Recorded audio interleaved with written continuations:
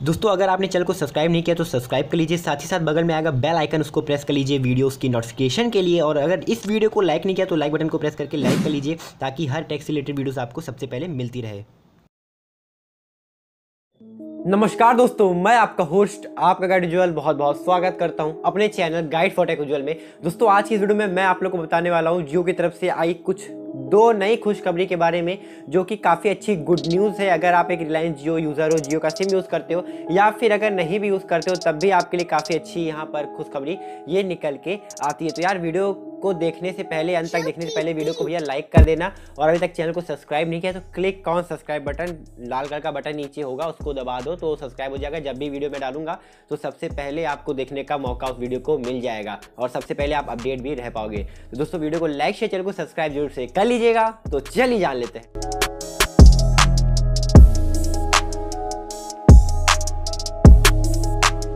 दोस्तों की बात करते हैं रिलायंस जियो की तो जैसा कि मैंने बताया, कुछ दो गुड्स न्यूज़ यहाँ पर, गुड न्यूज़ निकल के आई है जियो की।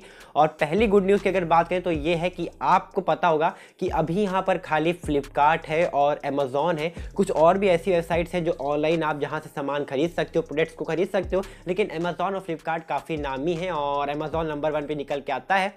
लेकिन अमेजोन बाहर की कंपनी है, ये भी मैं बता दूँ तो उस बात को पहले साइड में करते हो। मेन चीज़ ये है कि आप अमेजोन और फ्लिपकार्ट से कुछ भी लेना होता है तो आप वहीं से बाय करते हो। जैसे स्मार्टफ़ोन हो गया लैपटॉप हो गया डीएसएलआर हो गया, और स्मार्ट वॉच हो गई बहुत से ऐसे प्रोडक्ट हैं यार, घर के सामान हो गए, आप कुछ भी लेना हो तो आप अमेजोन फ्लिपकार्ट जाते हो। लेकिन अब रिलायंस जियो इस पर कदम रखने वाला है और मैंने जैसा कि बताया था कि पहले भी मैंने वीडियो बनाई थी, लेकिन अब एक और कुछ और अपडेट आ रहे हैं कि रिलायंस जियो भी अपना कुछ ऐसा ही ऑनलाइन यहाँ पर प्लेटफॉर्म लेकर आ रहा है, जिसमें कि आप आराम से प्रोडक्ट्स को बाई कर पाओगे, चाहे वो स्मार्टफ़ोन हो लैपटॉप हो डीएसएलआर हो, घर का कुछ सामान हो तो एक्सेट्रा बहुत से प्रोडक्ट आपको यहाँ पर मिलने तो रिलायंस जियो अपना खुद का ऐसी वेबसाइट्स को बनाने वाला है और जिसमें कि आप ऑनलाइन सामान खरीद पाओगे। तो ये कुछ अपडेट सामने सामने आ रहा था। ज़्यादा इन्फॉर्मेशन तो नहीं लेकिन हाँ वो इस पर वर्क कर रहा है और काफ़ी ज़्यादा इसके ऊपर काम होना भी स्टार्ट हो गया। तो आने वाले कुछ एक आ, साल में या एक साल के अंदर ही अंदर आपको कुछ रिलायंस जियो का भी स्टोर भी देखने को मतलब ऑनलाइन प्लेटफॉर्म देखने को मिल सकता है। ऑनलाइन स्टोर मिल सकता है जिसमें कि आप स्मार्टफ़ोन बाय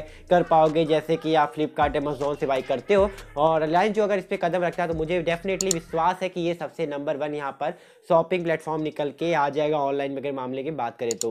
दोस्तों जो यहाँ पर नेक्स्ट हमारी जो गुड न्यूज़ निकल के आती वो ये कि काफ़ी लोग कह रहे थे कि यार न्यू ईयर में भी कोई ऐसा ऑफ़र नहीं लाया रिलायंस जियो ने, जो कि काफ़ी सस्ता प्लान प्रोवाइड करे या कोई बेहतरीन ऑफ़र हो। और काफ़ी लोग कह रहे हैं कि बहुत दिन हो गए, बहुत महीने हो गए, अभी तक रिलायंस जियो का कोई ऐसा प्लान नहीं आया जो कि सस्ते में काफ़ी ज़्यादा डाटा प्रोवाइड करता हो। और कुछ लोग ये भी सोच रहे हैं कि रिलायंस जियो ने अभी ठान लिया है कि वो हमेशा दिन पर दिन अपने प्लान्स को महँगा करते जाएँगे। अब उनका जो मेन मोटिव है वो है यहाँ पर प्रॉफिट या रेवेन्यू को जनरेट करना। लेकिन दोस्तों, अभी कुछ ऐसे आर्टिकल सामने आए हैं या कुछ ऐसे लोगों की तरफ़ से यहाँ पर बयान सामने आया है कि रिलायंस जियो अभी भी कोई भी रेवेन्यू जनरेट नहीं करना चाहता मतलब कोई ऐसी कमाई नहीं करना चाहता है कि वो बहुत ज़्यादा कमाई कर ले आप लोगों से, बस वो अभी भी ये सिर्फ़ यही चाहता है कि वो अपने ढेर सारे सब्सक्राइबर को ऐड करता रहे और उसका जो मेन मोटिव है अभी इस समय, वो रिलायंस जो का यही है कि वो ज़्यादा से ज़्यादा सब्सक्राइबर्स को अपने तरफ़ ऐड करे। मतलब हर महीने वो कई मिलियंस यहाँ पर सब्सक्राइबर्स को ऐड करना चाहता है और सबसे आगे यहाँ पर रिलायंस जियो बने रहना चाहता है या जाना चाहता है।